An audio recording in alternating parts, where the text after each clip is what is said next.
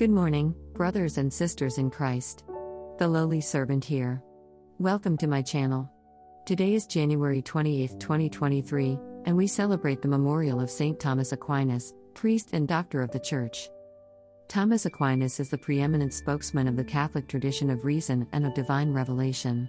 He is one of the great teachers of the medieval Catholic Church, honored with the titles Doctor of the Church and Angelic Doctor. The first reading is from the letter to the Hebrews. Brothers and sisters, faith is the realization of what is hoped for, and evidence of things not seen. Because of it, the ancients were well attested. By faith, Abraham obeyed when he was called to go out to a place that he was to receive as an inheritance. He went out, not knowing where he was to go. By faith, he sojourned in the promised land as in a foreign country, dwelling in tents with Isaac and Jacob heirs of the same promise. For he was looking forward to the city with foundations, whose architect and maker is God. By faith, he received power to generate, even though he was past the normal age. And Sarah herself was sterile, for he thought that the one who had made the promise was trustworthy. So it was that there came forth from one man, himself as good as dead, descendants as numerous as the stars in the sky and as countless as the sands on the seashore. All these died in faith. They did not receive what had been promised, but saw it and greeted it from afar, and acknowledged themselves to be strangers and aliens on earth. For those who speak thus show that they are seeking a homeland. If they had been thinking of the land from which they had come, they would have had opportunity to return. But now they desire a better homeland, a heavenly one. Therefore, God is not ashamed to be called their God. For he has prepared a city for them. By faith, Abraham, when put to the test, offered up Isaac. And he who had received the promises was ready to offer his only son. Of whom it was said, Through Isaac descendants shall bear your name.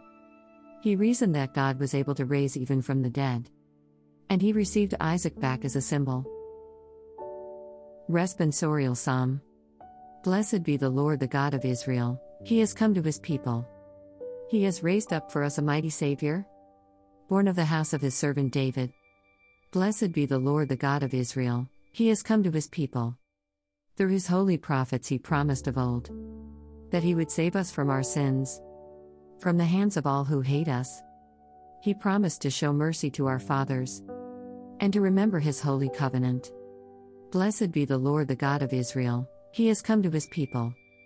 This was the oath he swore to our father Abraham to set us free from the bonds of our enemies, free to worship him without fear, holy and righteous in his sight all the days of our life. Blessed be the Lord the God of Israel, he has come to his people. Alleluia, Alleluia. God so loved the world that he gave his only begotten Son, so that everyone who believes in him might have eternal life. Alleluia, Alleluia. The Gospel according to Mark. On that day, as evening drew on, Jesus said to his disciples, Let us cross to the other side. Leaving the crowd, they took Jesus with them in the boat just as he was. And other boats were with him. A violent squall came up and waves were breaking over the boat, so that it was already filling up. Jesus was in the stern, asleep on a cushion.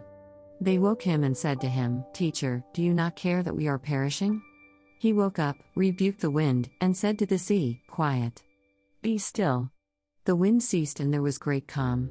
Then he asked them, Why are you terrified? Do you not yet have faith? They were filled with great awe and said to one another, Who then is this whom even wind and sea obey? Reflection Mark's Gospel challenges the disciples to grow into a more mature faith. Pitched and tossed on the raging sea, they fear shipwreck. In desperation, they wake Jesus up. He had been asleep. But they had been asleep also. They had been asleep as to who he really is. Lord, I resonate with this story. Life storms hit unexpectedly and toss me into a sea of chaos, doubt, and anxiety. When the waves threaten to swamp my little boat, make me aware that I have you with me as my precious passenger. Let me hear your voice saying, Peace. Be still.